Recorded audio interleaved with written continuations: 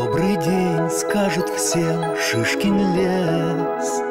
Может стать чудесным день и без чудес. Может стать добрее мир для людей. Если станем мы немного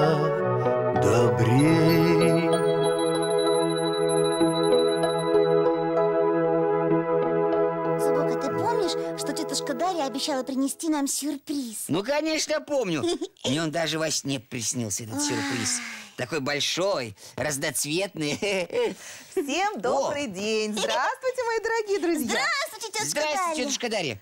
А, а что у вас, сюрприз в этой корзинке, да? Да? Да.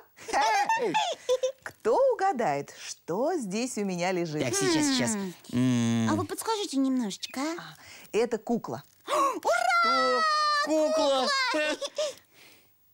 Да кукла непростая.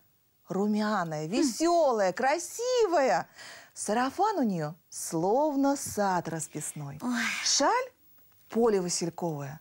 Ну, дома у нее своего нет, но зато всем своим подружкам приют дает. Кто она? Юда, Шунь, кто она? Очень добрая зубок эта кукла. Сама бездомная, а другим помогает. Жалко ее. Да вы что? Вы ее жалеете? Ой, друзья мои, она же такая счастливая, у нее столько подружек. У всех румяные щечки, на плечах платочки и девчонки хохотушки все приют дают друг дружке. Это Матрешка! Какие же вы молодцы!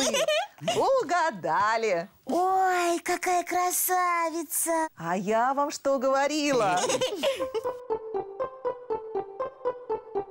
Матрешки именитые,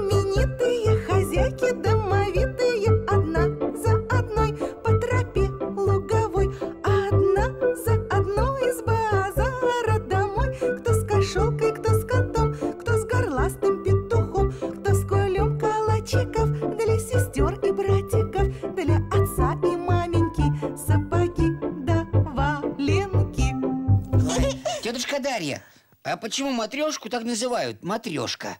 Дело в том, что эта деревянная игрушка появилась более ста лет назад.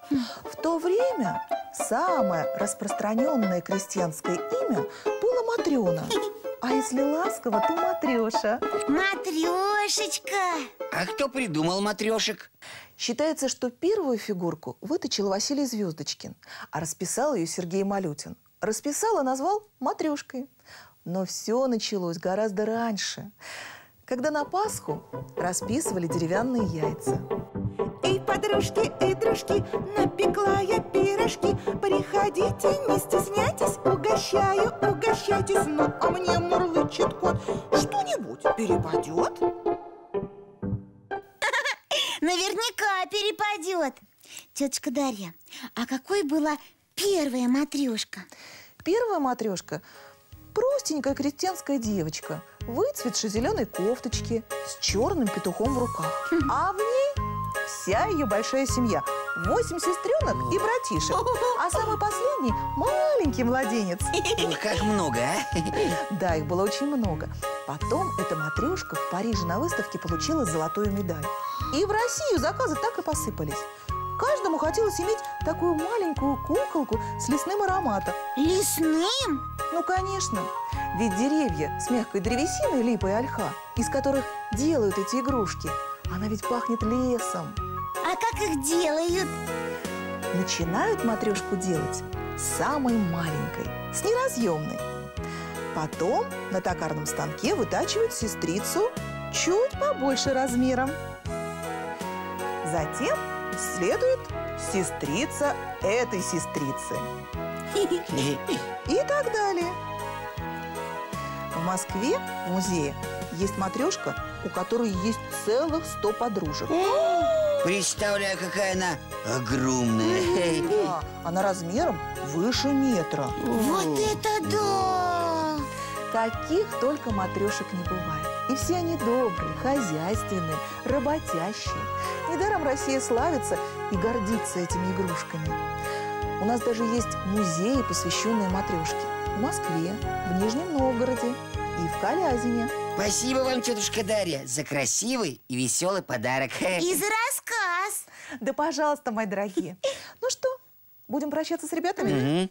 До свидания, мальчики и девочки. До свидания, ребята. Всего вам самого доброго, дорогие друзья. Ангела-хранителя.